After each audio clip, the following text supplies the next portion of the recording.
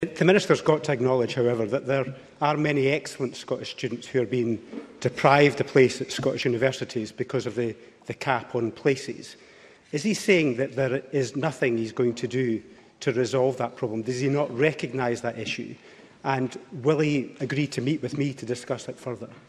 Minister. Well, uh, on that last point, I'm always delighted to meet with Mr Rennie, so um, I'm happy to uh, accept uh, his uh, uh, uh, request and invite to, to do so. It has always been the case that, of course, there are Uh, people who want to apply to university who unfortunately do not uh, manage to access uh, university. That's always uh, very disappointing for those individuals. Incidentally, it's not a unique phenomenon here in Scotland. It happens in other jurisdictions in the United Kingdom as well. Not every person who applies to university in England, Wales or Northern Ireland accesses university. But I would reflect on the fact, uh, and I've already made the point, that we have 180,000 uh, Scottish domiciled students being supported uh, into uh, Scottish universities under the current uh, system. That's up on the figures before. That's a good uh, direction of travel. They're not having to pay to do so, and that's a record of achievement I'm proud of.